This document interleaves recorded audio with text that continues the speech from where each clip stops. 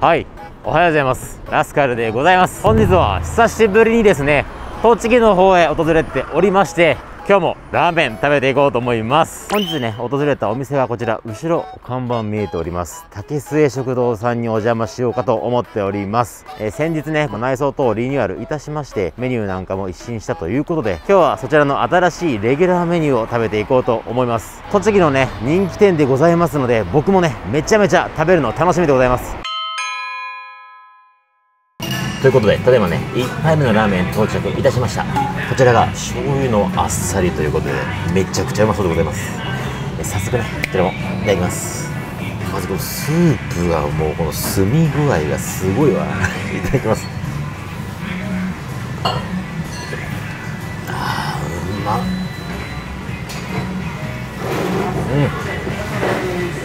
ガツンとした感じではなくてじんわりと広がる本当にだし感が満載の鶏のスープで優しいんだけどこうじんわりとね全体に鶏の旨味と醤油の香りが広がってる感じ。あーこのスープうまいな。そしたらこの辺りで麺いっちゃいましょうか。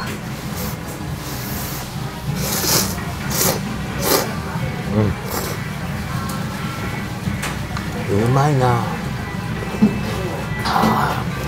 スープにすげえ合うわ。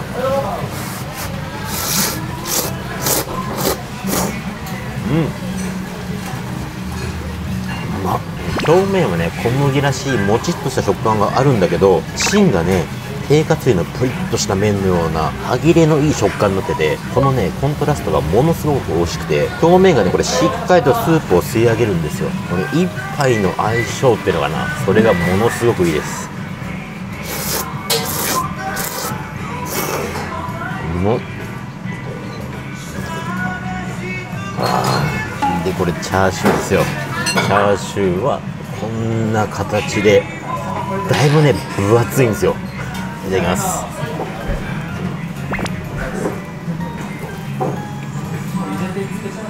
うん。しみるなこのラーメン。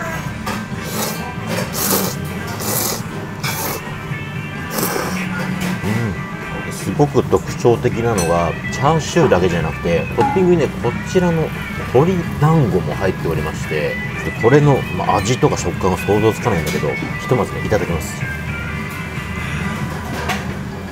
うん。しっかり鶏肉なんだけど豆腐心状みたいな口でふわっとほどけてく感じ。ちょっとねこの団子やばいかもしれない。ああ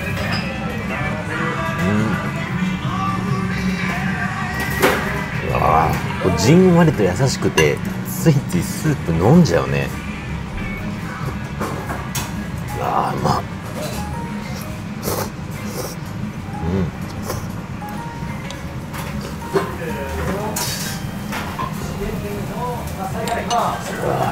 ということで1杯目こちらのラーメン完食させていただきました。ごちそうさまでした。めちゃくちゃうまい。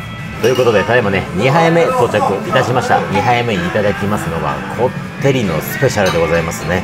で今回ねこれと一緒にいただきますご飯ものがこちらですね。本日ね限定で提供しております桜ローストポークでございます。いやーこれもねめちゃめちゃうまそうなんでいただきます。でこちらのラーメンにはねここにホタテのペーストが乗っかってるんだけど、まあ、これもね味変ということで徐々に溶かしていこうと思いますがひとまずはそのまんまのスープを一口いただきます。うま。いや濃厚だわ。こってりというよりか本当に濃厚。鶏のうまみがギュッと詰まった白湯系のスープで。これねめっちゃうまいよ。止まんないもん。うま。でこちらのラーメンは先ほどのあっさりと違って、まあね、太麺となっておりますね。いただきます。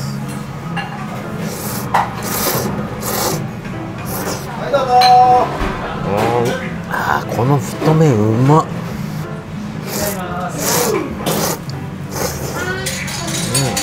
やっぱりねさっきの細麺と違って太麺になってくるとスープをね持ち上げる量が減るんですよ。ただかなりね濃厚でこってりしてるのでこのねスープの濃度とバランスがバッチリ。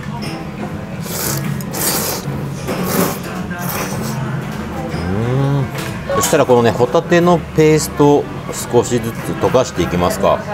これ麺に絡めるとやばいなこれ。う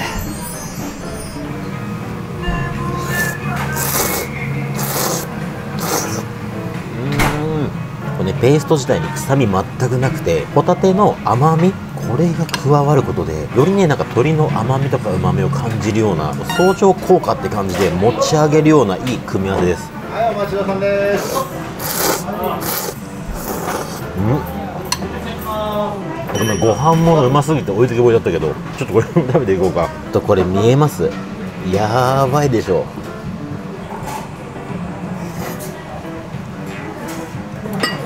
うーん。うまっあのね、脂身が溶けるのはもちろんなんだけど赤身ごと溶けていくのよ。すごいねこの仕上がり。もうう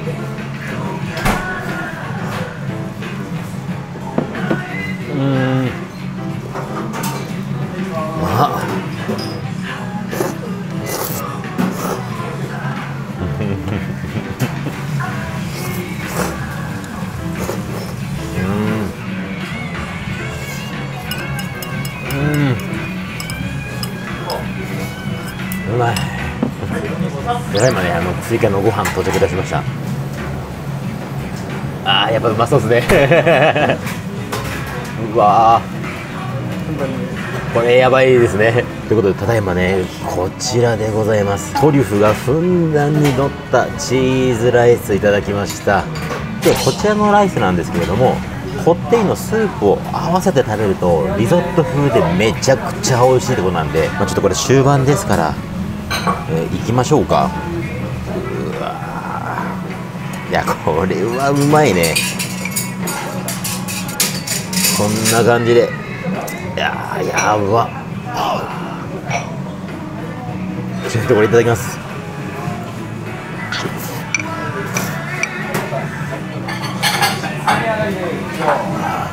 うまい。うん。本当にこの竹製さん家でこのこってりを頼む方はこのライスを頼んでいただいてぜひ合わせていただきたいと思います。これはね感動すると思う。うん。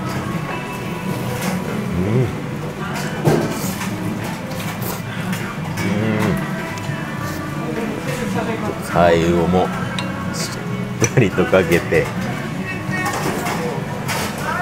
うん。うん。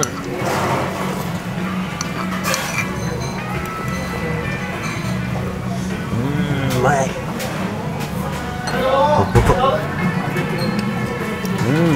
ということでただいまですねこちら2杯目こってりのスペシャル完食させていただきました。ごちそうさまです。ということで3杯目にいただきますのがこちらつけ麺でございます。つけ麺はですねもう完全にリニューアルされたそうで僕もね食べたことがないので早速ねこちらもいただいていこうと思います。いただきます。ありがとうございます。ご飯物もいただいちゃいました。ご飯物が牛ユッケでございます、まあこちらも本日の限定のご飯でございますね。ユッケをねまずいただく前にこちらの麺丼すごいんですよこれ。トリュフだとかホタテのペーストが乗っておりましてここら辺のね麺自体にもオイルはねしっかりと絡んでいるそうでまずはねここら辺を混ぜて麺だけで食べてくださいってことだったんでひとまずねこの麺だけでいかせていただきたいと思います。うん。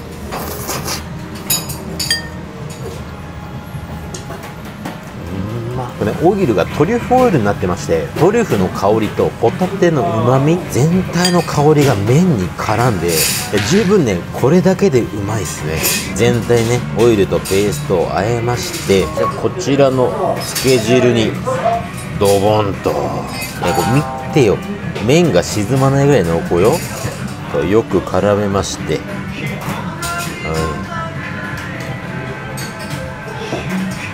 いやこれちょっとめちゃくちゃ濃厚っすね。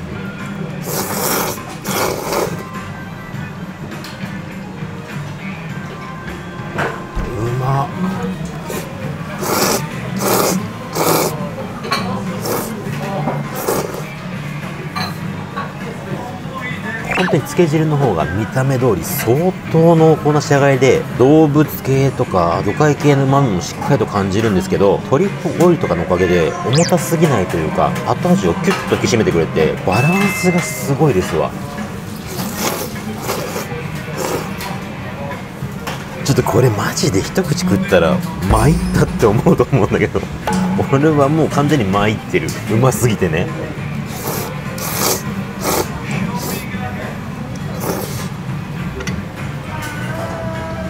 っかくなんでねこちらの限定のユッケもいただいちゃいましょう。一番ね美味しそうなシーンでございますこれ。うわまた卵の黄身の色が濃いな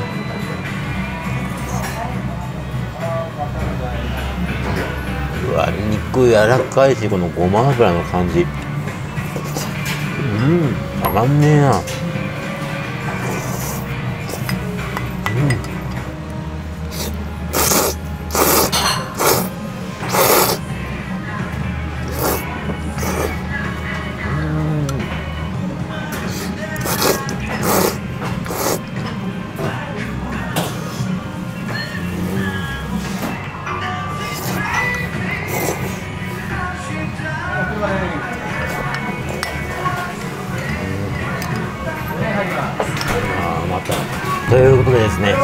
3種類目も全て完食してしまいました。3杯食っても感動しかないわ。よいしょ。ということで本日のね最後4杯目のラーメンが到着いたしました。こちら4杯目にいただきますのが本日限定で販売しております京煮ぼ中華そば。とこちらねご飯物で豚角煮いただきました。こちらもね早速いただきます。まずはスープからいただきます。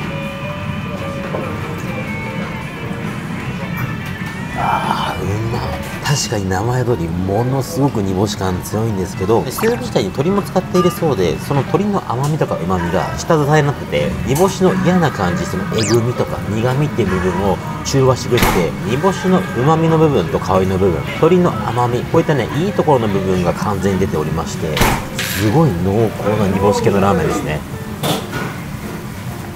あそした？らこっちの細めいっちゃいますか。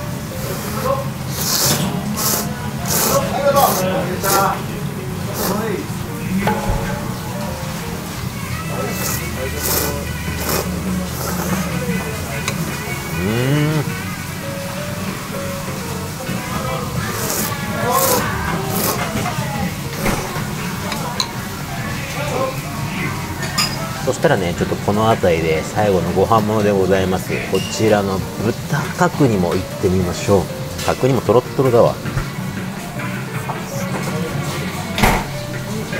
あ角煮美味しい。もちろん角煮なんで甘みは効いてるんですけど甘みの部分も強すぎずしっかりとね八角が使われててこの醤油の香りと八角の香り美味しい。うん。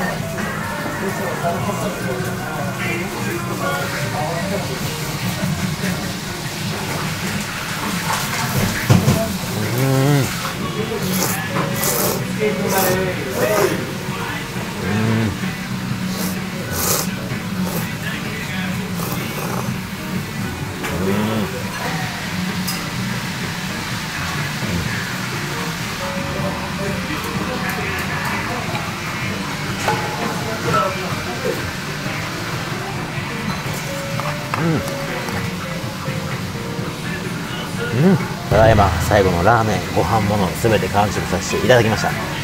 ごちそうさまでした。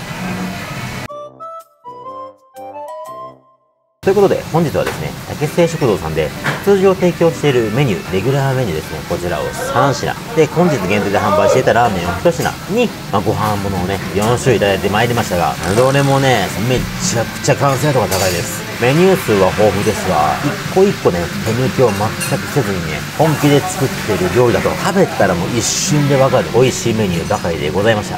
今日食べた商品以外にも塩だったりとかメニューも豊富で来た際にはちょっとどれを頼むもうか迷われるかと思うんですけれどもぜひね僕の動画を参考にしてもらって皆さんのこれが食べたいなと思うお好みのラーメンを見つけてもらって竹製食堂さんを全力で楽しんで食べてみてください。ということで本日もご視聴ありがとうございました。この動画がと思ったらチャンネル登録コメント高評価またサブチャンネルの方も活動しておりますので概要欄の方からそちらの方もチェックしていただけると幸いでございます。それでは次の動画でお会いしましょう。